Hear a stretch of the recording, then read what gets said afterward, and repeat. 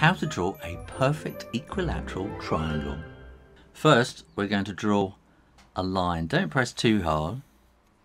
And I'm going to mark out 10 centimeters. So I'll mark it on that 10 there and 20. So that's 10 centimeters between those two points. Now to make a perfect equilateral triangle, you're going to need a compass. And what I'm going to do is I'm going to stretch that open and I'm going to put the pin right on the 20 centimeter line mark there. And I'm going to stretch it there. So as that goes through there, that is exactly 10 centimeters apart.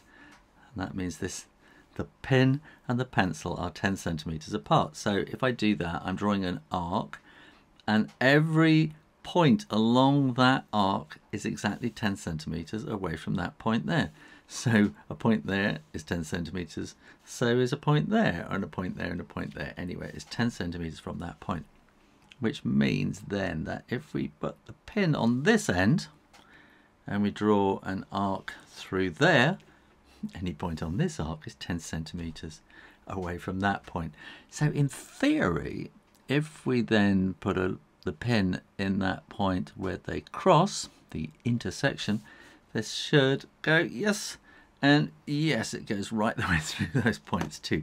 So any point on this curve is 10 centimeters away from there, which sounds like if everything is equal, it's starting to sound like an equilateral triangle. Now we can ink this in by getting the ruler and you want it just slightly to one side of those points don't draw into a, a ruler with ink, draw away from it because otherwise the ink will bleed in underneath the ruler and it won't look terribly nice.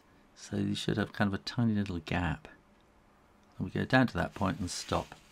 And because I'm below the ink line there, I can just do it like that and straight across to there. But I'm not going to do that line right now because I want to wait for it to dry. While it's drying, click the subscribe button for lots more drawings every week. And now that I'm sure that it's dry, then I'm going to get that line, those two to line up. And I'm going to join those two points up there. And there we have a perfect equilateral triangle. And of course, all the angles inside a triangle add up to 180 degrees. 60 times 3 equals 180. So each angle is then 60 degrees. There you go. Now you know how to construct a perfect equilateral triangle. Thanks for watching and make sure you are subscribed to the Draw Stuff Real Easy channel and keep coming back for lots more drawing videos every week. In the meantime, keep drawing, drawing, drawing, practice, practice, practice, and I'll see you next time. You take care now. Bye bye.